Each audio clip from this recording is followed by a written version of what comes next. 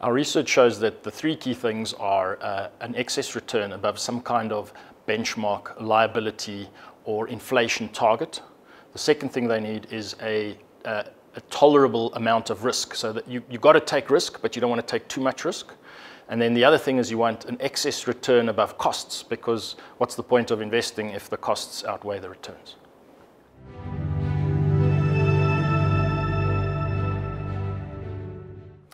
Humans are actually very good at understanding risk, but they're just very bad at managing risk because risk is a multi-dimensional problem. So you have many things impacting a portfolio at the same time.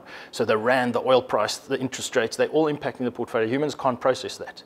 So we need technology, and fund management businesses have not invested in enough technology to really manage the risk on a daily, live kind of basis.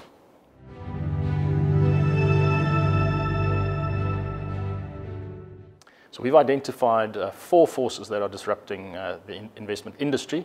The first one is that we've been very bad at managing, or sorry, understanding skill. So measuring skill has been pretty bad because we think that higher return is higher skill. But what the evidence shows us is that higher return actually is higher risk often, not necessarily skill.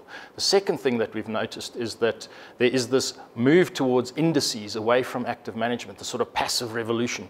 We think that that is actually got nothing to do with the fact that fund managers are not delivering. It's the, it's the whole movement towards a modular way, which is the third force of how to construct portfolios very quickly that can adapt to changing market conditions. So if you want to unplug a risk and plug on another risk because the market conditions have changed, you need indices. So they are vital tools to manage risk.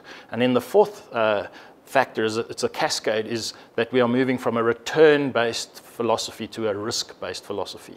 So it's actually impossible for all of us to outperform, but we can all lower our risk and we can all lower our cost.